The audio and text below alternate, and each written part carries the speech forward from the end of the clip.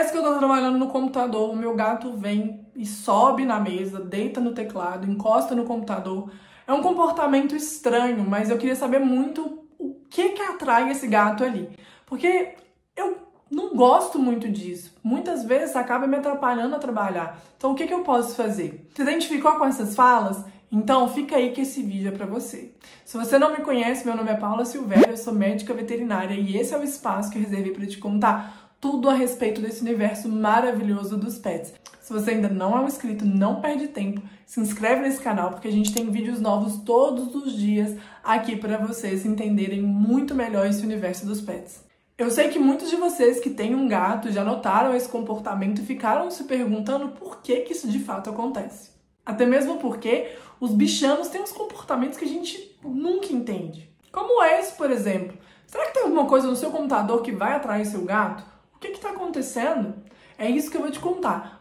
Antes de eu te contar, não deixe de clicar no like não se você acha que esse assunto é relevante, porque assim você me ajuda a divulgar esse vídeo. Preciso te contar que os gatos, apesar deles trazerem muitos dos comportamentos né, dos ancestrais deles, eles passaram por muitos processos de adaptação e readaptação.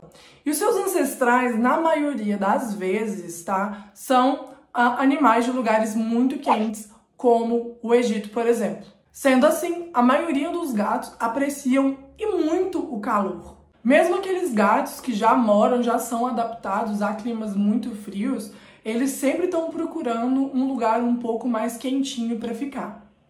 Não pode ver um calorzinho que deita, que relaxa e passa horas por ali.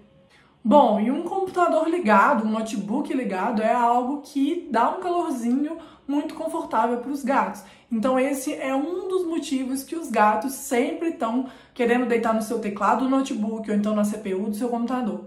Mas outro motivo é que sim, os gatos clamam por atenção o tempo todo, porque afinal de contas, como assim você está prestando atenção nesse negócio aí não está prestando atenção no seu ser soberano? Então, sim, eles estão querendo atenção quando eles veem que você está prestando atenção em muitas coisas menos nele.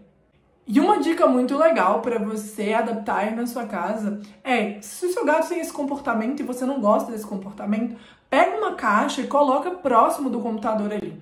Assim ele vai estar num lugar quentinho, em um lugar que ele gosta, que ele vai se sentir escondido, que é a caixa, e também você vai estar próximo dele, então ele vai se sentir mais confortável e mais tranquilo de ficar ali. Bom, pessoal, o vídeo de hoje foi bem rapidinho, mas como essa é uma dúvida recorrente, eu achei válido trazer né, esse vídeo aqui para vocês hoje.